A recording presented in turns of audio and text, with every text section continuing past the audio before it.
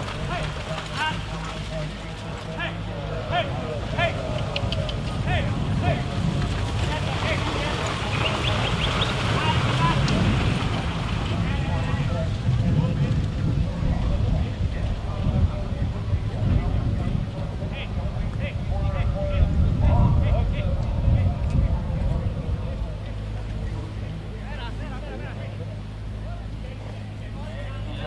Jetzt könnte man das eh da oben machen.